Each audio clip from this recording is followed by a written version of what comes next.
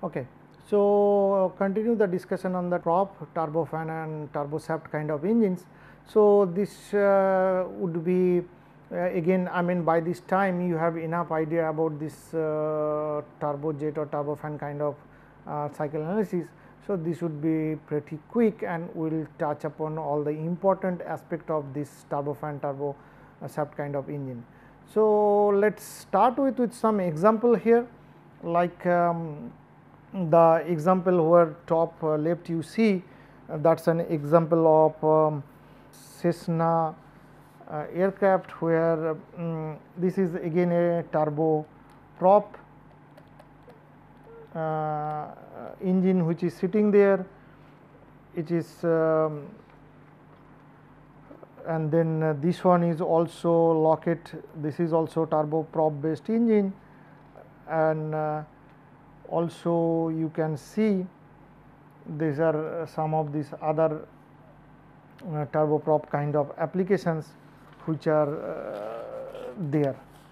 So, this uh, now the turboprop engines could be single, double or triple spool. Uh, the single spool engine the only one turbine drives one compressor and propeller uh, like um, you can that would be like this is a single pun one while it, it will have one uh, single propeller or uh, these things then the other could be the low pressure turbine drives either the single compressor or this. And then you can have this is a twin spool configuration. Here you can see the twin spool configuration. Here the LPT turbine drives the propeller. So, here the LPT turbine drives both the LPC and propeller. This is another example. Then you can have a 3 spool turboprop engine also which is there and you can see there as I said there could be 2 spool, 3 uh, single spool, 2 spool, 3 spool different kind of engines. And there is a quite a bit of history of this uh, kind of engine which are uh, there that um, it started with uh, I mean still again from I think I would say 1940s onward and different kind of development. And now these uh, turboprop engines are also in use depending on the application because um, at the low speed applications uh, they are quite efficient. So, this can be um, used now. Now, we can this is a single spool layout of a turboprop engines and we can look at the cycle analysis for this one. So, what you have uh, like the let us say the flight speed here. Uh, so, I can draw the quickly the TS diagram. So, the TS diagram if I draw this is A, this goes to 2 so, compared to turbojet or turbofan this would be quite simple in that way I mean in point of view of the analysis because you have less components uh, system is not that complex compared to those engines. Now, this flight speed u which is would be m a gamma r t a. Now, first intake that we see the intake has an isentropic efficiency of eta d and ambient conditions are pressure and temperature and the flight Mach number is m a. The temperature and the pressure at the intake and outlets are T naught 2 P naught 2 which can be calculated that we have already seen. Then it come to compressor where again the compressor efficiency is pi c isen uh, uh, sorry uh, pressure ratio pi c isentropic efficiency eta c then uh, using those the compressor uh, things can be calculated and um, the specific power for the compressor which can be calculated like CPC T naught 3 minus T naught 2. Then combustion chamber again when you come to the combustion chamber you know the combustor efficiency and also the pressure drop across the combustion chamber, then uh, we can find out fuel air ratio, outlet pressure P after the combustion um, chamber. So, all this can be again calculated. Fourth turbine. So, since the turbine drives the compressor as well as the propeller. So, the portion of the power transfer to each is known in advance. So, then it is easy to do the NLC balancing. Now, the portion of the turbine power is also delivered to propeller. This propeller power is independent on other several efficiencies like um, mechanical efficiency of the turbine, compressor, gearbox and then also propeller efficiency. So, we can look at a simple like diagram to explain this like we have the turbine here and so this is 4 this is 5 and this is 6 so if we draw an diagram of enthalpy entropy diagram so this is p naught 4 where it was there coming to p naught 5 and then coming down to um, P A. So, this is 6. So, this is a okay. So, this portion is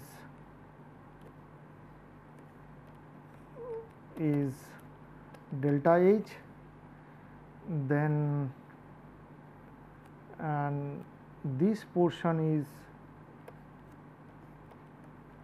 alpha delta H then obviously uh, this portion would be 1 minus alpha delta H and this portion is um, this is called the delta H N S.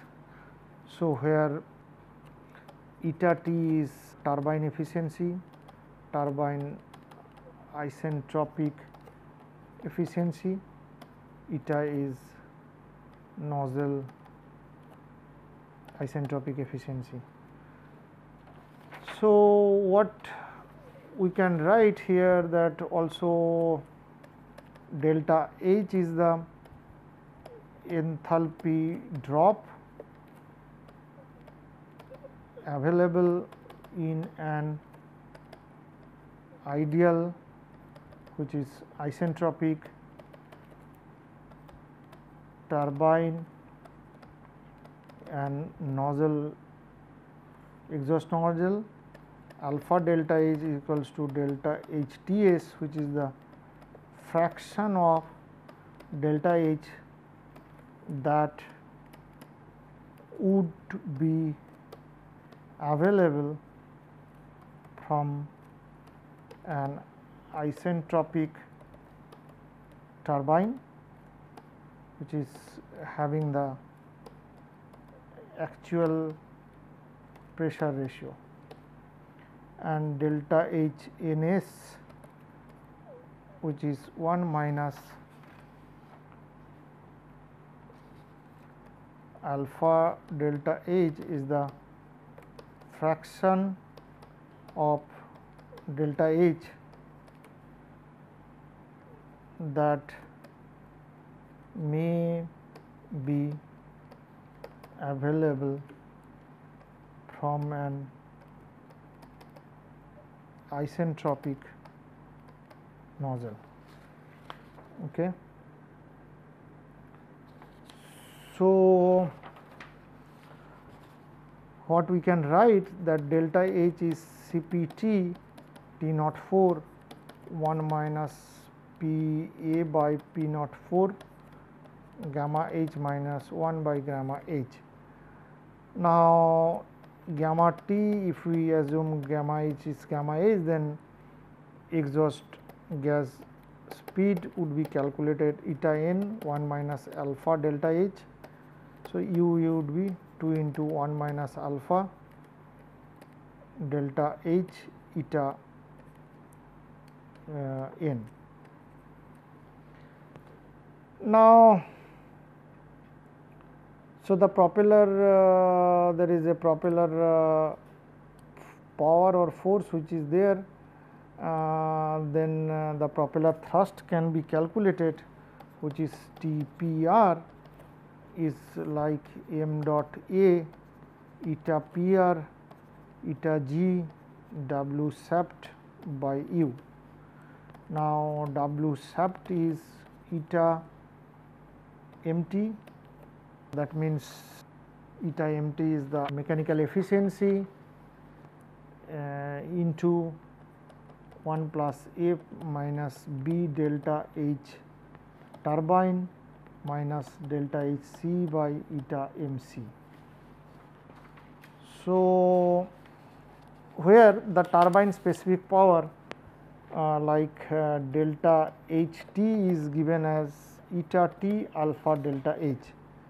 Now, m dot a is the um, an air which is inducted. F is m dot f by m dot a. B is m dot b by m dot a. So, this guy TPR can be replaced at m dot a. Eta PR eta g by u. 1 plus f minus b. Eta mt eta t alpha delta h minus delta h c by eta m c.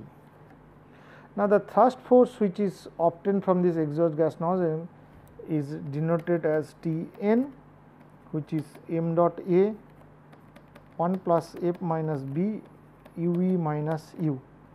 So, the total thrust would be T p r plus T n. So, now that is what we can get. Now, if we respect this total thrust, uh, I mean the differentiate this total thrust with respect to alpha and set it to 0, then we get the alpha optimum. But that maximizes the thrust for fixed efficiencies, flight speed obviously those parameters.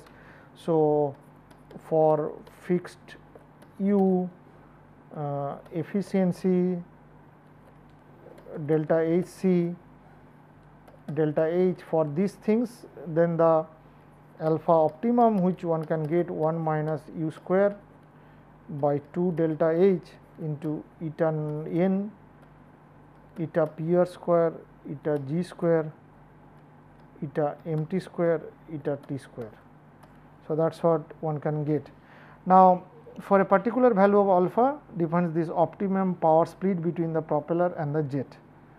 So, once we use this value in T total and then uh, we can get the T max T total max or the maximum value of the thrust force and for that the corresponding u exit would be u eta n by eta p r eta g eta m t eta t. So, that would be the corresponding value of that. So, now we can move to a two spool configuration like this where again we can look at the TS diagram quickly. This is A go to 2, 3, 4, 5, 6 7 so this is a. So this is uh, this is a two spool turboprop engine. And again the different components can be examined here.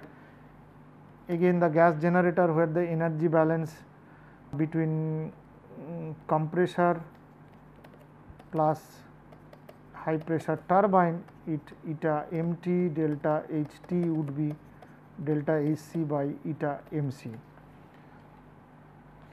So, then the specific work generated in the turbine of the gas generator which is given delta H t equals to Cpt T naught 4 minus T naught 5 1 plus F minus B.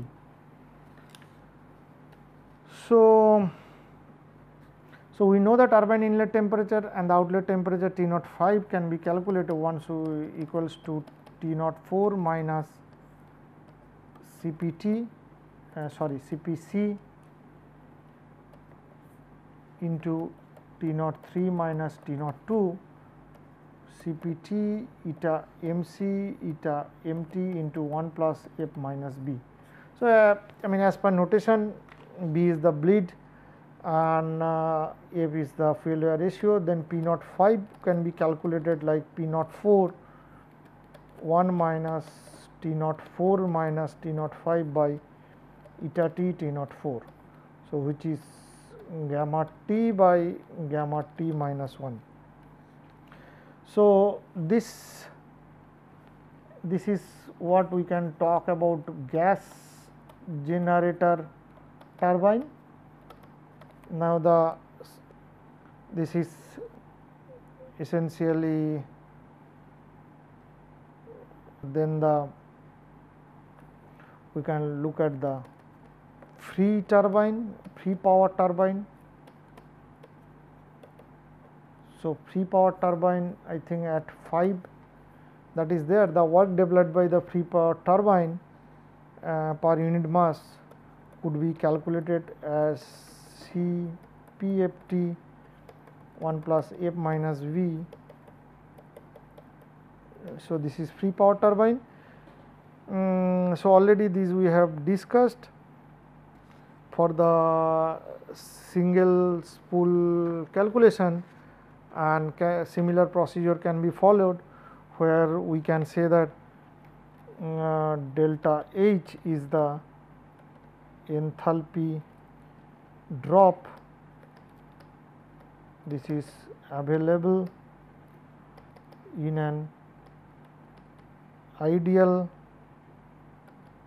turbine and exhaust nozzle. Assuming a full expansion to the ambient pressure, which is assumed that by assuming P 7 equals to P A.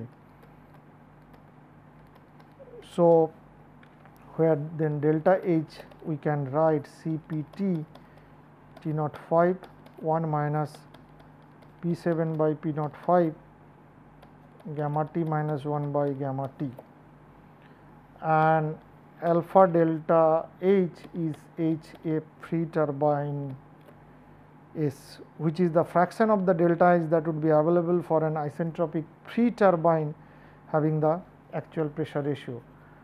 So, what we can write delta H F T S is eta F T delta H F T S.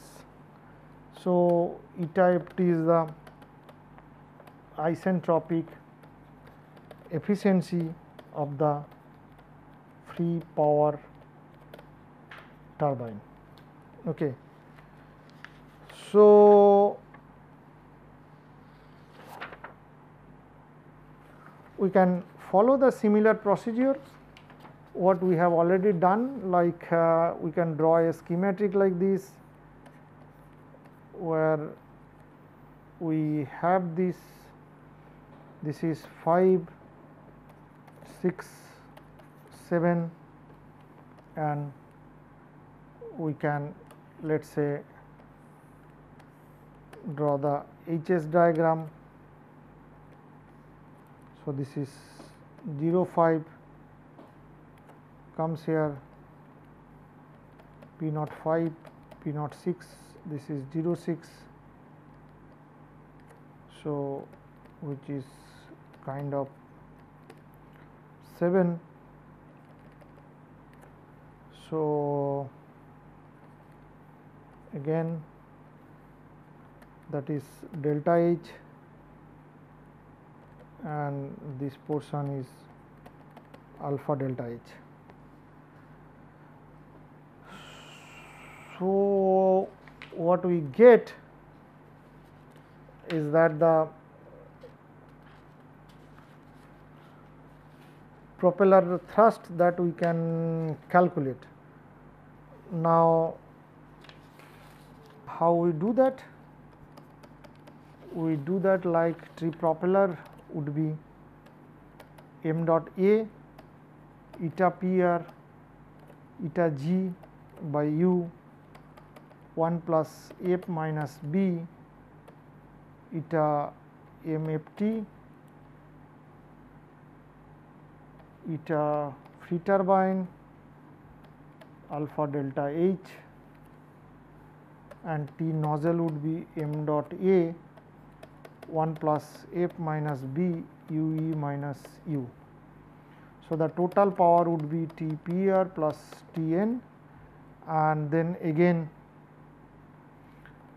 T by m dot is eta P r eta gearbox by u 1 plus f minus b eta m f t eta f t alpha delta h plus 1 plus f minus b root over of 2 1 minus alpha eta n delta h minus u.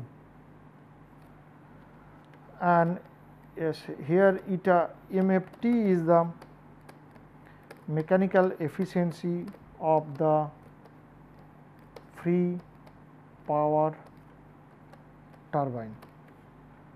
So, when we try to maximize the thrust, so what will get happen? So, um, maximize the thrust. So, we get alpha optimum which is 1 minus u square by 2 delta h eta n by eta p square eta g square eta mft square eta ft square. Again it can be mentioned that this particular value alpha depends the optimum speed um, between propeller and the jet. So, once we use this uh, optimum speed we will get the maximum thrust force.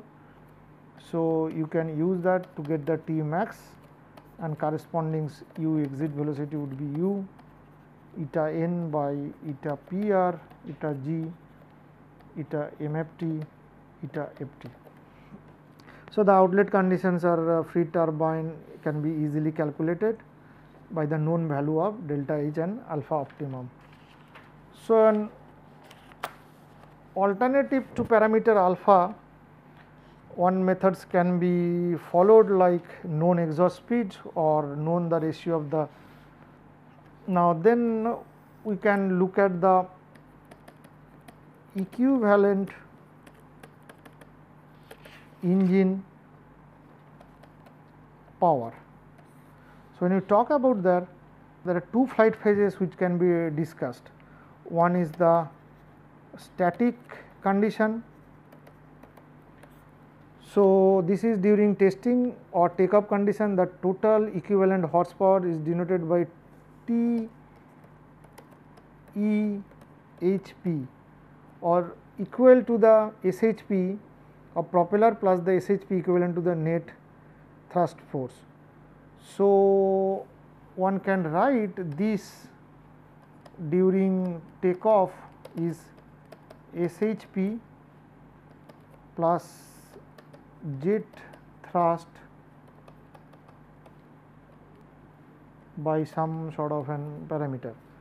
Now, SP is the shaft power, then uh, if we know the shaft power, then we can write TEP which is in kilowatt during takeoff is the shaft power in kilowatt plus jet thrust in Newton by 8.5 and the thrust on test bench or ground testing this T would be m dot 1 plus f minus b into u. Now, this is static condition other condition could be flight operation which is for a turboprop engine during a flight the equivalent shaft horsepower which is E S H P is shaft horsepower plus thrust into u by constant into propeller. and the T is m dot 1 plus f minus b u e minus u. So, now uh, these constants can be depending on the unit. So, for example, it can be knots, it could be in mile per hour. So, and where the typical propeller efficiency is around 80 percent. Then we have fuel consumption. So, already we have we have to define TSFC which is m dot f by t and for turboprop engine the fuel consumption which is defined is an equivalent. So, this is in general for turboprop equivalent specific fuel consumption which is m dot f to equivalent shaft horsepower. So, this is the value typically remains uh, 0.27 to 36 kg fuel per kilowatt horsepower. So, that is what for propeller engine we can define things in that fashion. So, now we can draw a quick correlation like some sort of an one can say like analogy analogy with turbofan engines. So, this can be sort of drawn. Now, the turboprop engines are kind of analogous to the high bypass ratio turbofan engine. Okay. So, the propeller itself is an unducted fan with a bypass ratio equal to or greater than. So, the propeller bypass ratio could be equivalent or greater than equal to 25 or higher. So, this can be um, looked at that unducted bypass fan. The airflow through the propeller is slightly accelerated, thus it requires speed slightly higher than the aircraft flight speed. Now, the another thing is that momentum difference between the inlet and the outlet flows through the propeller produces the propeller thrust. So, there is a propeller thrust which is getting produced.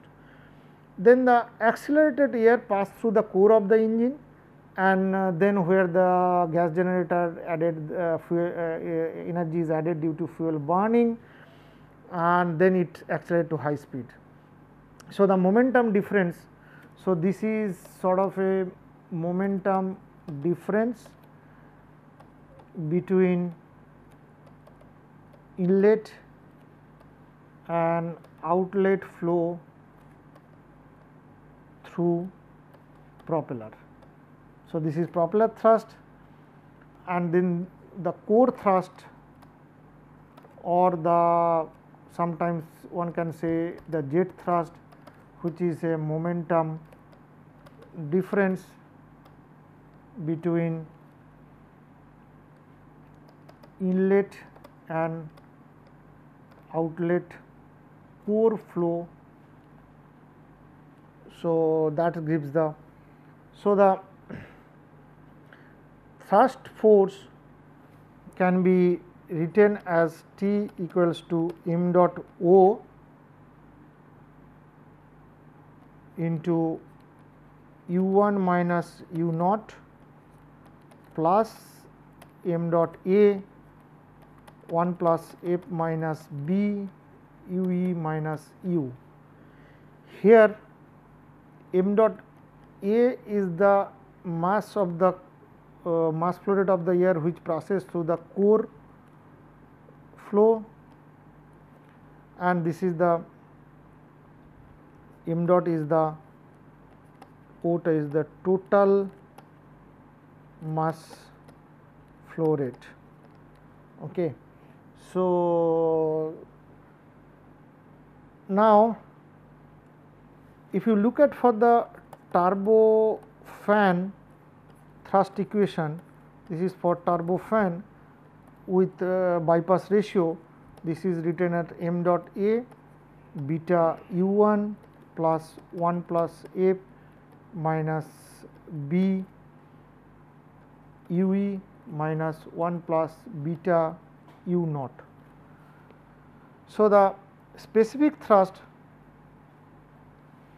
to engine core mass flow rate to get that is that uh, here the T for turbofan by m dot A is beta u 1 plus 1 plus f minus b u e plus 1 plus beta u naught. So, this would be minus here 1 plus uh, 1 plus beta minus this. So, you can see this um, nice uh, correlation between the turbo prop engine and the bypass ratio turbofan they kind of look similar which is sort of an equivalency one can think about because here the propeller actually behaves like an the fan which is sitting in the turbofan engines and it also uh, contributes to the thrust and we have already seen that there are two component of the thrust one is the propeller thrust then the other one is the core thrust. So, these are the different components which um, could be produced for the now we will uh, uh, stop the discussion for uh, here and pretty much that is the one which uh, I would like to discuss on turboprop engine like turboshaft and other I will continue in the next class.